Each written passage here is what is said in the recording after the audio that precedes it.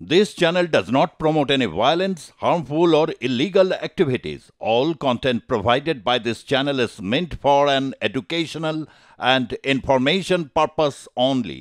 হিজবুল্লাদের পাশে থাকবে কি ইরান সেপ্টেম্বর মাসের মাঝামাঝি সময় লেবানন জুড়ে পাঁচ হাজার পেজার ও ওয়াকি টকিতে বিস্ফোরণ ঘটেছে বিচ্ছিন্ন হয়েছে যোগাযোগ ব্যবস্থা সব মিলিয়ে ছন্ন ছাড়া নেতৃত্ব শূন্য অবস্থায় রয়েছে লেবানন।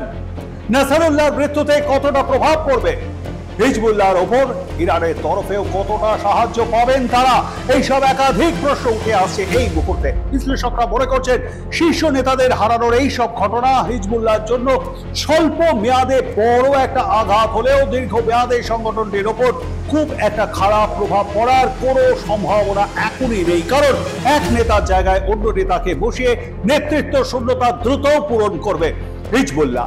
এছাড়াও সংগঠনটি অত্যন্ত শক্তিশালী। হিজবুল্লাহ এখন টিকে থাকার জন্য পূর্ণ শক্তিতে আঘাত করার চেয়ে অস্থায়ী নেতৃত্ব শূন্যতার দিকে বেশি মনোযোগী হবে। কৌশলগত ব্যবস্থাকে বিকল্প হিসেবে বেছে নেবে। হিজবুল্লাহ নিঃশেষ হচ্ছে না, এমনকি এখন ইরান যদি হিজবুল্লাহ রক্ষায় এগিয়ে না আসে, তবু কৌশলগতভাবে সঠিক সময়ের জন্য অপেক্ষা করবে তারা। বিশেষজ্ঞদের ধারণা, হিজবুল্লাহ আরও একটি ভুল করেছে, যা তাকে ইসরায়েলের কাছে দুর্বল করে দিয়েছে। আর তাদের এই ভুলটা হলো, তারা নিজেদের ইরানিদের প্রক্সি হিসেবে অনেক বেশি ব্যবহার করার সুযোগ দিয়ে দিয়েছে। অথচ এর আগে কিন্তু নিজেদের জনগণের সাথে লেবাননের ভূখণ্ড রক্ষায় ইসরায়েলের সঙ্গে হওয়া লড়াইয়ের দক্ষতার পরিচয় দিয়েছে হিজবুল্লাহ। ইসরায়েল হিজবুল্লাহ ওপর এই বিধ্বংসী হামলাকে নিজেদের জয় বলে দাবি করছে বিশেষজ্ঞদের মত। ইসরায়েল নিজেদের মতোই এই আক্রমণ চালিয়ে যাবে এইভাবে। হাসান নাসরুল্লাহকে হত্যার পর ইসরায়েল মনে করছে এই ঘটনা তাদের জন্য একটা অনুপ্রেরণা। তারা হিজবুল্লাহ নেতৃত্ব শূন্যতার সর্বোচ্চ সুবিধা দেওয়ার চেষ্টা অব্যাহত রাখবে। অবশ্যই যেসব ইসরায়েলি নেতানিয়াহুর বিরোধিতা করেছিলেন, তাদের এই বিরোধিতার পেছনে কাজ করছে গাজায় নেতানিয়াহুর ব্যর্থতা। হামাসকে নির্মূল করতে না পারাও ইসরায়েলি জীবীদের দেশে ফেরাতে না পারার ঘটনা। কিন্তু তারা ইসরায়েলের যুদ্ধবিরোধী জনতা নন। অন্যদিকে ইসরায়েলকে তার আক্রমণ অব্যাহত রাখতে হলে যুক্তরাষ্ট্রের কাছ থেকে অস্ত্রের যোগান প্রয়োজন হয়ে পড়তে পারে।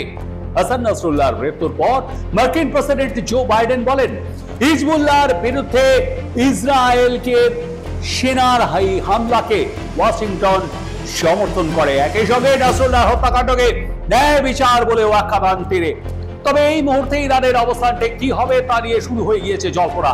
ইরান কি ইসরায়েলের বিরুদ্ধে দাঁড়াবে, নাকি এই যুদ্ধ পরিস্থিতি এড়িয়ে চলবে?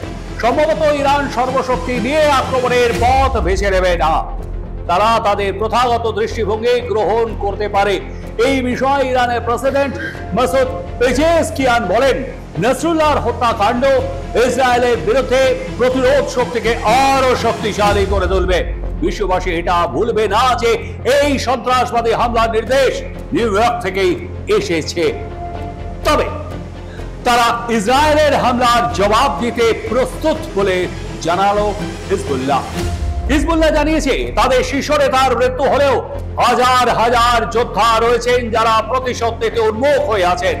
আছে সমৃদ্ধ অস্ত্র ভান্ডারক এদিকে ইরানের সর্বোচ্চ ধর্মীয় নেতা আয়াতুল্লাহ খামেইনের দাবি, শীঘ্রই হিজবুল্লাহ নেতা নসরুল্লাহ জায়গা পূরণ করে লড়াই চালানো হবে।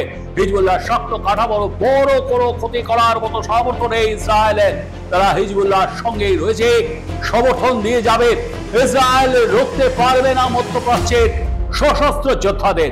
উনত্রিশে সেপ্টেম্বর ইয়েমেনের সশস্ত্র বাহিনী এক বিবৃতিতে জানায়, ইসরায়েলে হামলার জন্য প্যালেস্টাইনের দুই ব্যালিস্টিক ক্ষেপণাস্ত্র ব্যবহার করা হয়।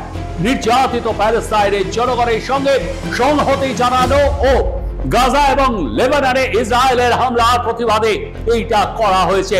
গাজা ও লেবাননের বিরুদ্ধে আগ্রাসন বন্ধ হলে তবেই তাদের অভিযান বন্ধ হবে। জানালো ইয়েমেন। ইসরায়েলের বিমান হামলায় লেবাননে হিজবুল্লাহ সর্বোচ্চ নেতা নাসারুল্লাহর মৃত্যুর একদিন পর এই হামলা চালায় ইয়েমেন। রাষ্ট্রপুঞ্জের সাধারণ সভার বার্ষিক অধিবেশনে যোগ দিয়ে ইসরায়েলের প্রধানমন্ত্রী বেঞ্জামিন নেতানিয়াহু বলেন, যতক্ষণ না আমরা আমাদের লক্ষ্যে পৌঁছচ্ছে, আমরা থামবো না। ওই অধিবেশনে লেবাননের বিদেশ মন্ত্রী আব্দুল্লাহ মাওহাবের রাষ্ট্রপতির কাছে যুদ্ধবিরতির আর্জিও জানান। উল্লেখ্য পশ্চিম এশিয়ায় শান্তি ও স্থিতাবস্থা ফিরিয়ে নিয়ে আসতে বুধবারে ইসরায়েলকে একুশ দিনের যুদ্ধ বিরতির প্রস্তাব দিয়েছিল আমেরিকা ফ্রান্সের সহ পশ্চিমের দেশগুলি।